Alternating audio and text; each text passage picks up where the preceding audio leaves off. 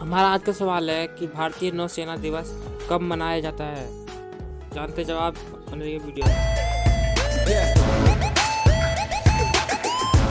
आइए जानते हैं इसका जवाब। भारतीय नौसेना दिवस 4 दिसंबर को मनाया जाता है, क्योंकि यह इस उपलक्ष्य में मनाया जाता है। 4 दिसंबर उन्नीस सौ इकहत्तर को भारत ने पाकिस्तान को हराया था।